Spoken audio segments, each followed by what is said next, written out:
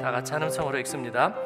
하나님이 이르시되 우리의 형상을 따라 우리의 모양대로 우리가 사람을 만들고 그들로 바다의 물고기와 하늘의 새와 가축과 온 땅과 땅에 기는 모든 것을 다스리게 하자 하시고 하나님이 자기 형상 곧 하나님의 형상대로 사람을 창조하시되 남자와 여자를 창조하시고 하나님이 그들에게 복을 주시며 하나님이 그들에게 이르시되 생육하고 번성하여 땅에 충만하라 땅을 정복하라 바다의 물고기와 하늘의 새와 땅에 움직이는 모든 생물을 다스리라 하시니라 아멘. 창세기 말씀 구절로 읽는 예. 그 하나님의 말씀 구절 가운데 담겨 있는 뜻을 우리가 함께 나누는 시간으로 삼으려고 합니다. 우리의 형상을 따라 우리의 모양대로 26절에 있는 이 말씀 가지고 오늘 말씀을 나누겠습니다. 아, 왜 하나님은 어, 세상을 창조하시면서 어, 인간을 창조하셨을까요? 그리고 그 인간을 창조하실 때 왜 하나님의 형상, 하나님의 모습을 따라 지으셨을까요? 어, 이미 우리는 이를 받아들이고 있는데 예, 새삼스러운 질문 같기도 합니다. 어, 창조의 7일을 한번 정리해 보면 첫째 날에는 어, 뭐를 만드셨죠? 예, 빛을 만드셨는데 빛과 어두움을 구별하셔서 어, 나누어서 빛이 있게 하셨죠. 둘째 날에는 하늘과 바다, 예, 창공과 바다를 예, 구별하시고 나누심으로 하늘과 바다를 만드셨습니다. 셋째 날에는 마른 땅과 식물을 만드셨습니다. 예, 그래서 묻과 물을 구별해 내셨습니다. 예, 넷째 날에는 저를 시험하시는 거예요? 네, 해와 달과 별을 만드셨습니다. 아까 첫째 날, 둘째 날, 셋째 날은 어떻게 해요? 네, 주로 나누어서 구별하셨고요. 나눠서 넷째 날에는 그 구별해서 나눈 데다가 채워 집어넣는 거죠. 해와 달과 별을 하늘과 우주에 채우셨고요. 다섯째 날도 약간 짐작이 되죠. 이제 채우는 거죠. 예. 하늘과 바다에다가 새와 동물을 갖다가 채워. 여섯째 날에는 예, 그러니까 첫째 날은 어느 나라고 맞아요? 넷째 날하고 맞고 둘째 날은 다섯째 날하고 맞으니까 셋째 날은 여섯째 날하고 맞는 거죠. 예, 여섯째 날하고. 예. 셋째 날에는 묻과 물을 구별했는데 여섯째 날에는 예, 식물을 먹는 육지 동물과 그리고 마지막으로 사람을 창조하셨습니다. 근데 그 사람은 뭐를 닮았다? 하나님을 닮았다. 예, 금형이 하나님이에요. 그래서 하나님 제록스, 예, 앞빌트,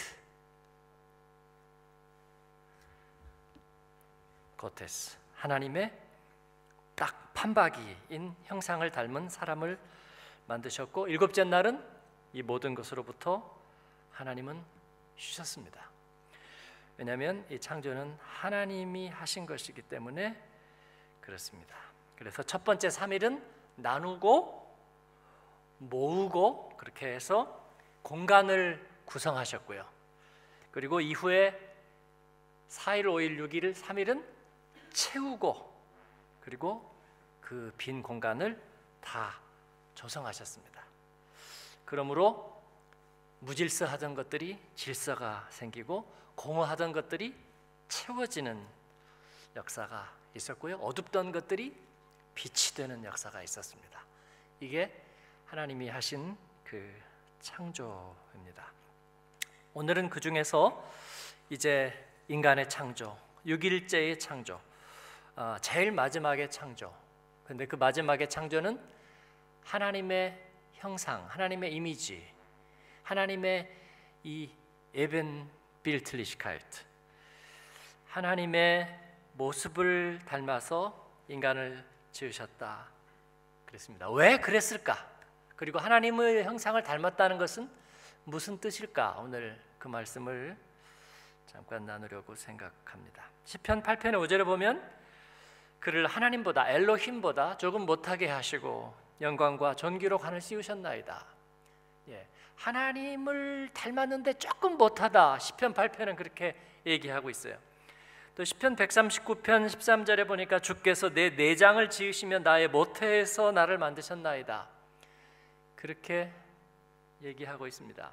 아마 그 시편의 기자는 내 내장이라고 말할 때는 아마 우리의 마음과 영혼이 어딘가에 머무는 자리를 생각했을지 모르겠어요. 그죠? 예. 그래서 어, 우리 옛날에 어른들이 자녀가 속을 썩이면 뭐가 끓어요? 예, 장이 끓는 거예요. 그러니까 뭔가 이 장은 예, 밥 먹은 데가 들어가 있는 곳이 아니라 예, 내 마음의 어떤 깊은 곳을 얘기하는 내 심연의 깊은 곳을 얘기하고 그리고 나의 어떤 영혼을 나의 믿음이 자리 잡고 있는 곳을 얘기하고 있는 것 같아요. 그래서 하나님께서는 예, 그와 같은 것들을 지으셨고 나의 모태에서 나를 만드셨습니다. 그 주님이 예, 자신의 모습대로 우리를 지으셨습니다. 이사야서 43장 7절에 보니까 내 이름으로 불리는 모든 자 곧 내가 내 영광을 위해서 창조한 자를 내게 어리게 하라. 그를 내가 지었고 그를 내가 만들었느니라. 그렇게 얘기하고 있습니다. 내 영광을 위해서 창조한 자. 그러니까 닮았죠. 네? 닮았죠. 예, 우리가 자녀를 낳으면 예, 그 자녀는 자기의 분신이고 자기의 DNA를 이었고 그리고 자신을 닮았죠. 제럭스 판박이죠. 그렇기 때문에 예, 그 자녀에게 자기의 영광도 거는 거죠. 자, 이 하나님의 형상이라는 것은 무슨 뜻인가? 두 가지 의미가 있습니다. 히브리어로 예, 보면 젤렘이라는 말이 있고 데모트라는 말이 있습니다. 그 두 가지 형상이라는 말이 예, 각각 하나님의 형상이라는 말에 두 가지 의미를 얘기하고 있는데 예, 첫 번째는 제가 그냥 아주 쉽게 얘기할게요. 예, 첫 번째 젤렘이라는 말은 그냥 모습이라고 하면 됩니다. 모습, 모습이 닮았다. 아, 그러니까 이충만 목사님의 독생자는 아니고 아들 누구죠? 건이죠. 이건희, 이건희 회장님. 아, 건인데 어, 정말 이쁘게 생겼어요. 그러니까 우리 충만 목사님이 어릴 때 어, 상당히 이뻤을 거라는 거를 우리가 가정할 수 있는데 그보다는 좀 더 이쁜 것 같아요. 건이가. 그러니까 남자 아이로는 진짜 너무 이뻐요. 그 제가 건이한테 얘기하죠. 건이야. 그러면 놀래 가지고 예. 니네 반에서 네가 제일 이쁘지? 그러면 아, 근데 가만히 보면요 닮았어요. 얼굴이 닮았고 네. 남자 어린 아이가 예, 쌍꺼풀도 싹 지고요, 예, 되게 예쁘게 생겼어요. 그래서 일단 모습이 닮았다. 예, 그게 첫 번째 하나님의 형상의 뜻입니다. 어, 모습을 닮았다는 건 뭐를 의미할까요? 그냥 가만히 있어도 그 아버지의 사랑과 권한이 그에게 또 아버지만 얘기하면 섭섭하죠. 네? 어머니의 그 사랑과 권한이 그대로 물려받았다는 것 아니겠어요? 그렇죠? 네. 그래서 거기 서 있으면 그 아버지의 권세, 아버지의 모든 가지고 있는 권한들이 그 자녀에게도 그대로 있는 거예요. 그래서 아버지하고 같이 있으면 누가 뭐라고 하기 어려운 거잖아요. 그런 것처럼 우리는 하나님의 모습을 닮았습니다. 모습을 닮아서 우리는 하나님의 그 고난을 대행하는 것입니다. 우리가 있는 곳에 하나님의 권한을 대행. 그래서 하나님께서는 이 세상의 공간을 3일 동안 조성하시고 여기서 이 6일이라는 것은 오늘 우리가 얘기하는 이 하루를 의미하는 시간적인 물리적인 시간 개념은 아니죠. 그러나 어, 어쨌든 3일 동안 이 공간을 조성하고 또 나를 3일 동안 채워 넣으셨는데 그 마지막에 채워 넣으실 때에 하나님의 모습을 닮은 사람을 창조해서 그 마지막에 세워 두셨습니다. 왜 그러겠어요? 아버지의 권한과 또 그 아버지 하나님의 속성을 그가 그대로 대행하라는 의미죠. 대행하라는 의미입니다. 그가 이렇게 있다는 것만으로 그는 이미 대행이 되는 거예요. 그래서 예를 들어서 어, 건의를 누가 뭐라고 하려고 하다가도 이충만 목사님 생각이 나겠죠.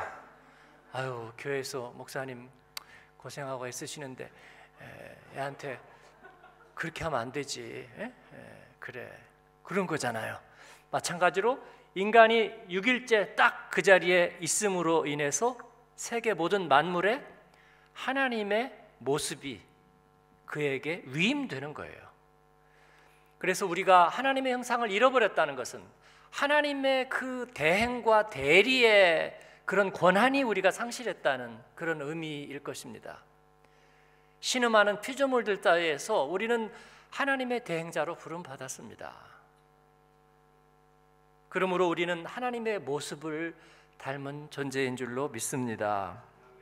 이 출애굽기의 정신으로 얘기하자면 이 우리가 하나님의 모습을 닮았다는 것은 그의 선십, 그의 아들됨, 네. 그를 그대로 그 모습 그대로 대변하는 그 권한 그대로 대변하는 우리가 그 선십을 가졌다는 얘기입니다. 예수님은 하나님의 아들로 오셨습니다. 그건 뭐냐면 하나님의 아들됨, 그 모습과 권한 그대로 가지고 오셨다 그런 뜻입니다. 우리가 하나님을 알지 못하고 예수 그리스도의 은혜를 알기 전에는 우리 자신의 존재에 대해서 굉장히 자존감이 낮았습니다. 그러죠? 무슨 뭐 연약하고 뭐 피투성 뭐 이 실존주의 얘기하는 뭐 우리가 뭐 던져진 존재 뭐 그죠? 어뭐 25시 얘기하듯이 예, 우리는 스스로 소외된 존재 그리고 혼자서는 아무것도 할 수 없는 그리고 극히 유한하고 어, 지극히 연약한 존재 뭐 그렇게 우리는 자신을 생각하고 살았으나 하나님은 우리 연약한 하나님보다 조금 못하게 만드신 우리 존재 안에 하나님의 에벤빌틀리시카이트 예, 그 하나님의 앞빌트를 우리 가운데 예, 두셨다는 것입니다. 그래서 우리로 하나님의 대행자가 되게 하신다는 것, 그의 아들됨을 주셨다는 것. 이를 믿는 저와 여러분 되기를 바랍니다. 하나님을 대리하는 우리는 하나님의 자녀가 되는 거예요. 이 말의 뜻은 한 가지가 더 있는데 우리가 하나님의 모습을 그대로 닮았다는 건 뭐냐면 그를 대리하고 또 그를 대신 표현한다는 레프레젠티련한다 그런 의미만이 아니라 사랑의 관계에 있다는 것입니다. 자식을 안 사랑하면 누구를 사랑하겠어요? 그렇죠? 네. 그래서 하나님과 우리는 온전하게 사랑하는 관계예요. 그에게 듣고 그에게 귀 기울이고 그는 우리에게 말하고 우는 우리는 그에게 또 아뢰는 그런 관계가 이 아들됨의 의미입니다. 그래서 우리는 하나님의 형상을 가졌다는 건 그의 선십을 가졌다는 거고요. 그리고 그의 모습을 가졌다는 것이고 그리고 그의 대행자의 역할을 가졌다는 의미입니다. 두 번째 하나님의 형상의 의미는 이 데모트라는 표현인데 이 말은 제가 또 쉽게 정리합니다. 아까 첫 번째는 뭐라고요? 모습. 두 번째는 아직 말 안 했죠. 예, 속성입니다. 속성. 속성.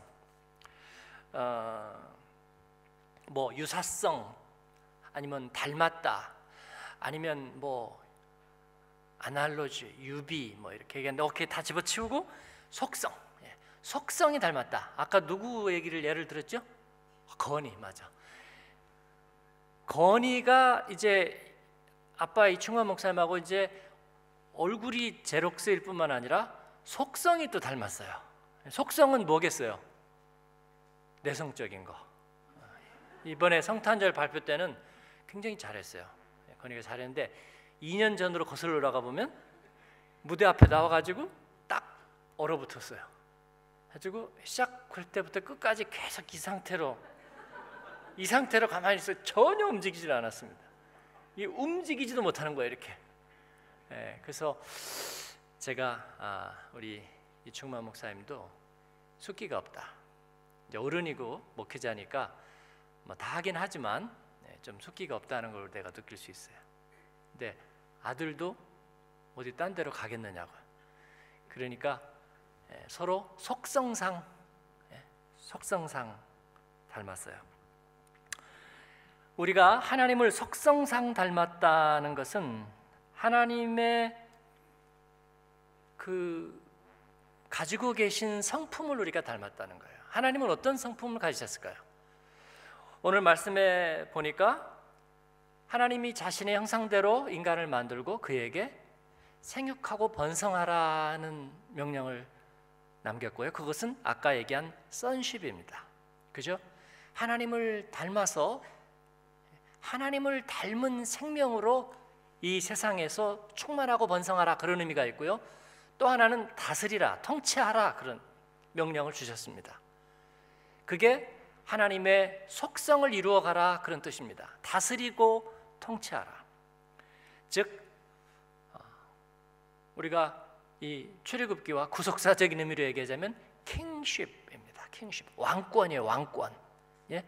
그의 다스리시는 왕권을 우리에게 가지라는 거예요. 왜 창조의 6일의 마지막에 하나님께서 하나님을 닮은 인간을 창조해서 거기다 세워 놓으셨을까요?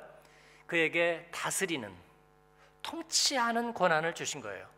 다스리고 통치하는 것. 다스리고 통치한다는 것은 지배하고 빼앗고 착취하고 벌 주고 나누고 가르는 것이 아니라 여러분 진정한 왕의 의미는 무엇입니까? 그들을 보호하고 품고 울타리 안에 두고 그들을 양육하고 그들을 위해서 희생하고 내어주는 거예요. 이것이 다스리고 통치하는 것의 의미입니다. 그렇죠? 그래서 이 sonship의 코드는 뭐냐면 code name 예, 긍휼과 사랑입니다. 사랑. 예. 예, 아버지와 아들 그리고 창조주와 그 상속자의 관계는 사랑의 관계입니다. 그리고 다스리고 통치하라. 이 킹쉽의 코드는 뭘까요? 공의입니다. 의로움입니다. 질서가 있고 그리고 균형이 있고 우선순위가 분명하고 그리고 생명의 질서가 바로 살아있는 바로 그게 하나님의 공의입니다. 그래서 하나님의 형상은 두 가지. 그 자녀됨과 그리고 그의 속성을 닮은 것. 자녀됨의 특징은 사랑의 인격적인 관계이고요.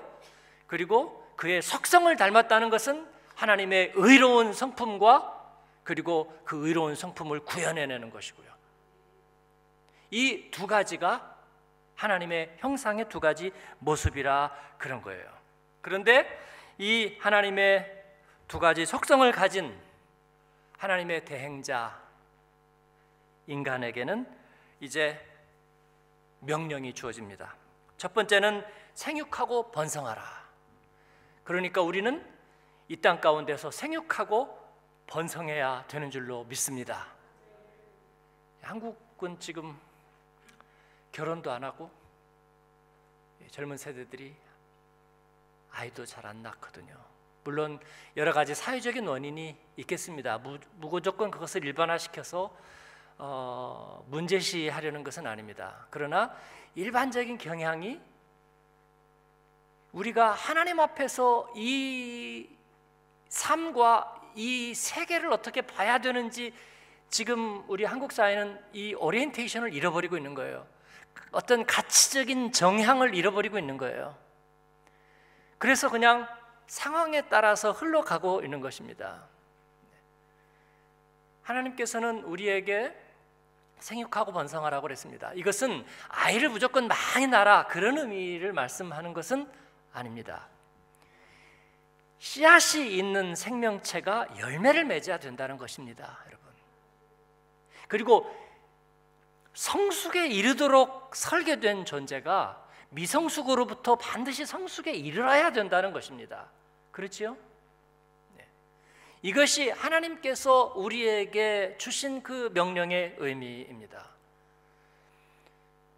그래서 우리가 사랑하는 관계는 그 가운데에서 성숙을 향해 가는 것이고요. 사랑하는 관계는 그 가운데에서 충만을 향해 가는 거고요. 사랑의 관계는 그 가운데에서 열매를 맺고 부흥을 이루어 가는 거예요.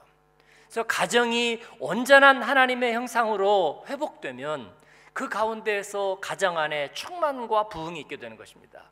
하나님이 창조하실 때에 3일 동안 공간을 구별하고 그리고 나머지 3일 동안은 그 가운데 채웠다. 그건 그냥 막 다 밀어넣고 쓰레기통 넣듯이 막 밀리는 장에다가 억지로 갖다가 구겨 넣듯이 그러는 것이 아니라 질서 있고 조화 있게 하나님의 영광과 목적에 합당하게 거기에 배치하고 그리고 쳐넣는 거예요. 이것은 충만이고 그리고 이것은 부흥입니다. 사랑하는 여러분, 그래서 믿음의 사람들이 일을 하고 어떤 아이템을 가지고 장사를 하고 어떤 일들을 수행할 때 반드시 거기에는 우리가 하나님의 형상을 따라 우리가 쓰임 받고 일한다면 저는 거기에 부흥이 있게 될 거라고 믿습니다. 근데 사람들이 잘못 생각하고 있어요. 교회도 왜 꼭 부흥이 최대의 가치냐라고 얘기하는 거예요. 부흥이 최대의 가치인 것이 아니라 그 가운데 생명이 있다면 하나님의 형상이 있다면 부흥은 결과로 일어나게 되는 거예요. 내가 전하서 예수, 예수의 생명이 우리 안에 뜨겁게 있으면 우리는 전하지 않을 수 없고 전하는데 어찌 살아나지 않겠습니까? 좋은 의사가 있는데 왜 병들이 낫지 않겠어요? 예? 의사가 고치는 게 아니라고요? 그러나 의사라는 중보자가 있어서 그 병과 병의 원인을 알고 약을 매게 하고 그에게 정성 어린 치료법을 알게 하고 생명의 길을 알게 하면 생명들이 살아나는 거죠, 여러분. 그러죠? 의대 막 졸업한 공중 보건이 하나만 있어도요. 보니까 어지간한 거 다 났더라고요. 제가 시골에 목회할 때 보니까 이제 정말 솜털이 보송보송한 의대 6년 나온 그 사람이 공중 보건이로 와가지고 있는데 뭐 할까 그런데 다 거쳐요. 눈병 나니까 오라 그래가지고 주사기에다가 이 식염수 나 가지고 이렇게 쫙쫙 쏘니까 아 그런 방법이 있었구나. 그렇죠? 뭐 안과 의사 아닌데 뭘 할까? 그런데 그래도 기본적으로 다 알아요. 기본적으로 다 알아. 그러니까 어디 가든지 말이죠. 그냥 의사 선생님, 의사 선생님이에요. 하물며 하나님의 사람들이 서 있는 곳에서 하나님과의 관계가 회복되는 것, 하나님의 그런 선십이 회복된 곳에서 어떻게 생명이 살아남이 없겠느냐고요. 어떻게 그 가운데 충만이 없겠느냐고, 어떻게 의미가 살아나지 않겠느냐고요. 공허 가운데 채워짐이 있다고요. 무질서 가운데 혼돈 가운데 질서가 생긴다고요. 여러분 부흥이란 그런 것입니다. 올해 한 해 동안 그래서 저와 여러분의 삶과 가정과 하고 있는 일에 부흥이 있기를 바랍니다. 의미의 충만이 있기를 바래요. 질서가 잡히기를 바랍니다. 창의적인 아이템들이 그 가운데서 싹트게 되기를 바랍니다. 에이, 물질적인 가치가 중요한 게 아니고 뭐 잘 되는 게 중요한 게 아니고 그럼 뭐가 잘 되는 거예요? 허무주의가? 염세주의가? 비관론이? 예수 믿고 살아도 다 잘 되는 거 아니라고 그 얘기를 하고 싶은 겁니까? 아니요. 우리 예수님이 오신 것은 양으로 생명을 얻게 하고 풍성히 얻게 하려는 것이라 그랬습니다. 저는 하나님의 형통을 믿습니다. 주님이 하시는 일을 믿습니다. 그러므로 우리가 하나님의 형상으로 지음받은 인생으로 하나님의 명령 생육하고 번성하여 땅에 충만하라. 여러분 충만한 역사를 이루는 저와 여러분이 되기를 바랍니다. 물론 우리가 하나님을 떠나 살면서 우리에게 장애가 생겼고요. 우리의 환경이 하나님의 진리의 방향과 맞지를 않아요. 그래서 때로는 역풍이 불고 반석 위에 세운 집에 비가 오고 물이 납니다. 그러나 진리 위에 지은 반석 위에 지은 집은 두려워하지 않습니다. 왜냐하면 우리는 반석 위에 있기 때문입니다. 기가 막힐 웅덩이와 수렁에 하나님이 건져주시고 우리에게 은혜의 해를 알게 하실 거예요. 그렇기 때문에 우리가 말씀 붙들고 살면서 하나님의 형상으로 지음받은 하나님의 모습으로 지음받은 하나님의 자녀임을 잊지 않는 저 여러분 되기를 바랍니다. 그 다음 두 번째 명령은 뭘까요? 다스리고 통치하라는 명령입니다. 이 코드는 뭐라 그랬죠? 공의입니다. 하나님의 의로우심을 따라 다스리고 통치하라. 하나님의 영광은 드러나야 합니다. 그리고 하나님의 기뻐하시는 모습은 이 땅 가운데 드러나야 합니다. 하나님의 의가 이 땅 가운데 드러나야 합니다. 어떻게 하면요? 죄가 그 가운데 침범해서 죄가 모든 것을 잠식하지 못하게 하는 것. 이것이 하나님의 의로운 통치가 땅에 드러나는 것입니다. 그래서 어진 왕은 외적으로부터 지키고 어진 목자는 사자와 그리고 늑대의 무리로부터 자기의 양떼를 지키는 것입니다.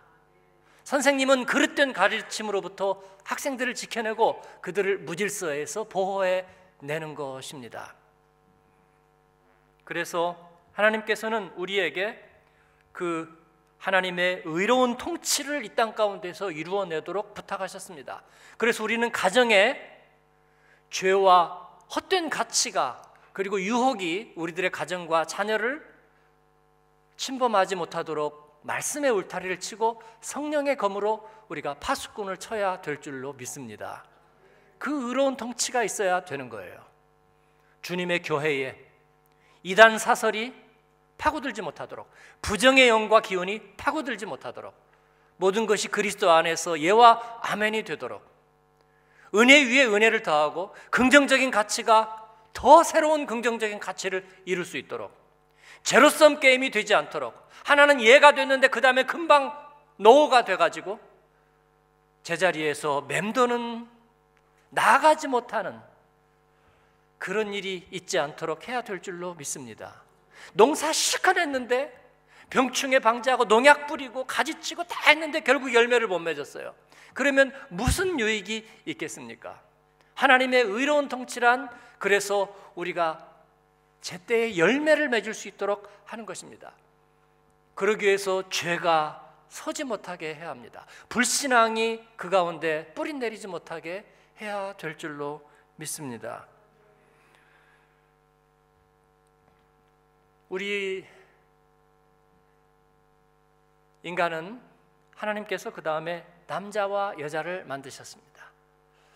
바로 이 하나님의 형상은 하나님께서 그렇게 말씀하셨어요. 우리가 우리의 형상을 따라 우리의 모양대로 왜 우리라는 말을 썼을까요? 하나님의 복수성을 얘기하는데 그건 어려울 게 하나도 없어요. 벌써 하나님은 예수 그리스도와의 연합을 통해서 바로 그 사랑과 공의, 하나님의 모습과 속성을 우리 가운데 관철시킬 생각을 하셨던 거예요. 그리고 우리는 그것을 남자와 여자가 한 가정을 이룸으로써 바로 그 하나님의 형상을 이룬다는 것을 알게 되는 거예요. 그렇지요? 그래서 남자와 여자, 남편과 아내는 성격이 같아요, 틀려요? 어? 너네 부모는 같으니 틀리니? 너 생각에?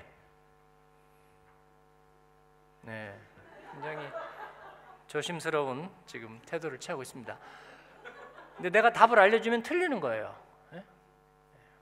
네? 둘이 서로 못 되고 그다음에 그 완전히 이게 어긋장 나서 잘못 만나서 틀리는 게 아니라 원래 틀려요. 한 명이 사랑이면 한 명은 공이야. 한 명이 은혜면 한 명은 율법이야. 그렇죠? 예, 그렇도록 되어 있습니다. 그렇도록 되어 있어요. 그래서 인간은 서로 의존적인 존재로 창조되었고 돕는 배필입니다. 서로 아삼육으로 잘 맞아서 부창부수니까 서로 돕는 게 아니고 서로 다르니까 돕는 것입니다. 물과 기름이니까 서로 돕는 배필이에요. 이것이 하나님께서 주신 생명과 삶의 원리입니다. 사랑과 공의가 서로 달라요. 십자가에서 나타난 하나님의 공의는요, 죄를 용납하지 못하는 거예요. 그런데 그 예수님에게 죄가 다 더딥혀졌어요. 그러니까 하나님이 그 예수님이지만 죄를 용납하지 못해요. 그러나 하나님의 또 다른 성품은 뭐예요? 사랑이죠. 죄인을 사랑하고 끝까지 사랑하는 사랑이에요. 그래서 그 사랑과 공의는 물과 기름처럼 서로 맞지가 않아요. 근데 어떻게 그것이 서로 합해서 입을 맞추느냐고요. 예? 선지자 이사야의 그 예언과 그리고 그 기도처럼 사랑과 공의가 서로 입을 맞추는 일이 어떻게 생기느냐고요. 남편과 아내가 서로 다른 사람들이 어떻게 서로 만나서 하나의 한 몸이 되냐고요. 십자가에서 그 사랑과 공의가 만나서 녹아버리니까 거기에서 구원이 된 줄로 믿습니다. 남편과 아내 있으면 한번 얘기해 주세요. 녹아버려. 어? 얘기 좀 해주세요. 넌 녹아버려. 예. 네가 세상이 세상에 없는 뛰어난 공이라도 녹아버려. 그 무슨 대단한 사랑이 있어도 녹아버려. 우리가 그 사랑과 공의는 함께 녹아 버려서 그래서 구원이 되는 것입니다. 하나님께서는 우리에게 이 선십과 킹십, 이 자녀됨과 그리고 그의 왕권 그 두 가지를 가지고 무엇을 하려고 하셨는가? 네? N극과 S극을 가지고 뭘 하려 하셨는가? 자동차 시동 거는 거죠. 네. 뭐 하러 하셨을까? 생명을 살리는 거죠. 병원에서 퓨치 칙칙칙 해가지고 뭐 하겠어요? 심장을 다시 뛰게 하고 생명을 살리게 하는 거죠. 네. 선생님은 백묵과 자를 가지고 뭐를 하려고 하셨을까요? 아이들을 건져내고 살리는 거죠. 하나님의 성품, 하나님의 형상, 두 가지 형상은 결국 생명의 구원과 그리고 영혼의 구원을 위해서 하나님께서는 우리에게 그 하나님의 형상을 주신 줄로 믿습니다. 아들의 사랑으로 하나님의 공의를 세우는 것 이것이 하나님의 프로젝트였습니다. 예수님은 우리에게 잃어버린 하나님의 형상을 회복시켜 주시기 위해서 살아있는 하나님의 아들로 오셨습니다. 그 선쉽을 가지고 오셨습니다. 그리고 우리에게 그 하나님의 의로운 성품, 그 하나님이 우리에게 부탁하신 그 권한을 되돌려 주시기 위해서 기름 부음 받은 왕 그리스도로 우리에게 오셨습니다. 킹십을 가지셨습니다. 그리고 이 두 가지를 모아서 무슨 일을 했느냐? 왕이 되고 하나님의 상속자가 되고 권세를 누렸느냐? 아니요. 십자가에서 그는 구원의 주 대속의 주님이 되셨습니다. 그래서 이 선십과 킹십이 둘이 함께 녹아버리면 뭐가 되느냐? 네? 하나님의 그 모습과 속성이 하나로 녹아버리면 뭐가 되느냐? 사랑과 공의가 하나로 녹아버리면 뭐가 되느냐? 뭐가 돼요? 십자가 은혜가 되는 것입니다. 십자가 은혜가 되는 거예요. 그래서 하나님의 성품이 두 가지가 녹아서 우리에게 주어진 마지막 대답은 뭐냐면 십자가 은혜예요. 다른 것 있으면 얘기해 보세요. 성경에서 다른 것이 있으면 얘기해 보세요. 하나님의 사랑과 공의는 십자가 은혜에서 만납니다. 그래서 나 같은 것이 하나님의 자녀가 되는 거고요. 나 같은 것이 하나님의 구원의 복음의 도구가 될 수 있는 거예요. 나의 의는 이것뿐 내가 바로 그 십자가에서 하나님의 공의는 내가 죽을 수밖에 없는 공의였고 그 하나님의 사랑은 내가 받을 수 없는 사랑이었는데 그 두 가지가 서로 만나 입을 맞추니 나 같은 죄인이 하나님 앞에 다시 사는 생명을 얻게 된 거예요. 그래서 우리가 이 십자가 은혜를 붙잡고 살기만 한다면 우리는 하나님의 형상을 회복하고 우리도 하나님의 대행자 되어서 하나님의 구원의 도구로 쓰임 받고 살게 될 줄로 믿는 것입니다. 우리의 간증입니다. 우리의 경험이잖아요. 물론 그 하나님의 은혜는 값싼 게 아니고 거저로 되는 것은 아닙니다. 그 가운데서 다시 죄가 죄 되게 하는 거고요. 은혜가 그냥 대충 얼버무려서 되는 것이 아니라 하나님의 공의가 우리에게서 죄를 죄 되게 하고 그리고 하나님 앞에 갚을 수 없는 죄인인 우리에게 하나님의 끝없는 긍휼을 우리에게 베푸심으로 우리는 하나님의 은혜 안에 머물게 되는 거예요. 사랑하는 여러분, 우리가 이 하나님의 회복된 형상을 가지고 십자가 은혜를 붙들며 사는 저와 여러분 되기를 바랍니다. 다른 것은 잊어버리세요. 다른 것은 잊어버리세요. 해가 왜 바뀌었겠어요? 지난해 것은 잊어버리라고 바뀐 거죠. 예? 그런데 십자가 은혜 안에 사는 사람들이 작년에 있었던 꽁한 것들 이것저것 다 생각해가지고 볼 때마다 얼굴에 열, 열 가지 얼굴빛을 가지고 어, 어, 어, 이렇게 살면 되겠어요? 네. 십자가 은혜로 사세요. 여러분의 삶 가운데 있었던 고난의 이야기도 잊어버리세요. 전에 있던 우리 양슬기 전도사님이 할머니가 돌아가셨는데 그 할머니가 예전에는 예수를 잘 믿었대요. 근데 어떻게 외롭게 사시다가 이단에 빠져가지고 여화 증인에 빠졌어요. 그래고 어, 여화 증인으로 돌아갔는데 또 한참 지났는데 이분이 이제 연세가 드셔가지고 치매가 오셨어요. 무슨 일이 생겼냐면 기억을 잊어버렸는데 여호와 증인 그때 기억만 딱 잊어버린 거예요. 그래가지고 다시 믿음이 좋아지셨대요. 할렐루야. 그래서 저는 그렇게 생각해요. 우리는 약간 영적인 치매가 필요하다. 네? 하나님의 은혜가 우리를 강권하고 십자가 은혜가 우리를 강권합니다. 디아스포라로 살면서 작년에 눈 치웠을 때 얘기, 작년에 비 올 때 우산 받았던 얘기 그런 거 생각해 가지고 마음의 평안과 기쁨이 없는 뭐가 유익하겠어요? 그 모든 거 싹 잊어버리세요. 그리고 우리는 십자가 은혜 안에서 하나님의 공의와 사랑이 입맞추는 하나님의 대행자 구원의 도구 되어서 사는 저와 여러분 되고 또 올해 한 해 여러분의 삶과 기업이 되시기를 주님의 이름으로 축원합니다. 아멘.